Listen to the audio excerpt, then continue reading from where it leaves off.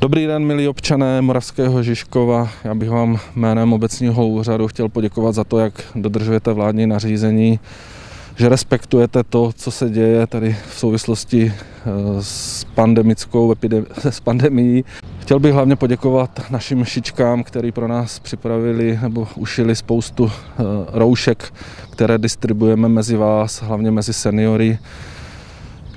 Děkuji i prodavačkám, které se snaží nějak koordinovat postup. A chtěl bych vás požádat, abyste respektovali i naše takové protiopatření, kterým chceme zabránit šíření viru.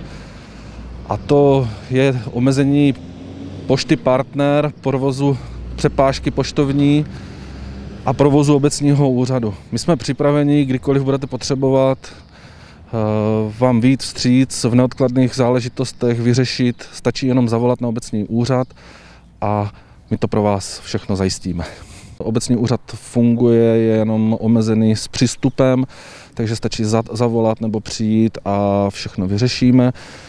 Co se týče sběrného dvoru, ten, ten je dočasně uzavřený, ale v sobotu ho otevřeme, aby občané mohli svůj odpad zlikvidovat, aby se to nekumulovalo doma.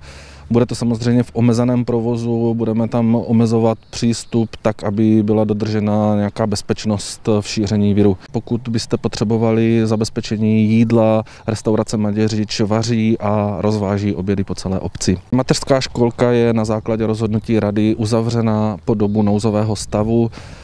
Jakmile se situace zlepší a bude stát k tomu změní své stanovisko, tak eh, samozřejmě bude školka znovu, obno, její provoz bude znovu obnoven.